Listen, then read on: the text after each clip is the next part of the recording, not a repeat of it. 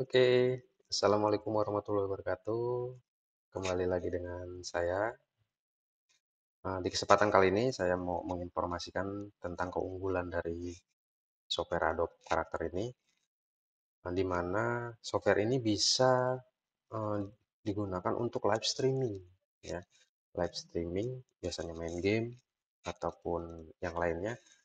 Tapi saya biasa gunakan untuk eh, menyampaikan materi saat saya ada kelas uh, online. Kelas online saya buka meeting online menggunakan Zoom dan ini perubahannya tampilannya yang biasanya webcamnya uh, adalah wajah kita, tapi saya change menggunakan karakter yang kalian lihat pada layar monitor ini.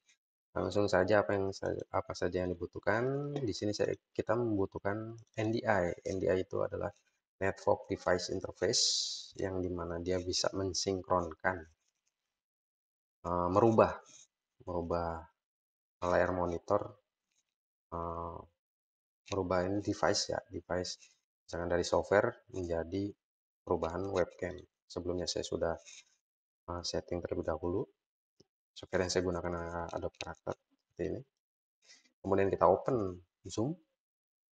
Kalau misalkan kita ada kelas online ataupun biasa mau saya ngasih materinya biasa saya new meeting. Nah, ini akan tampilannya seperti ini.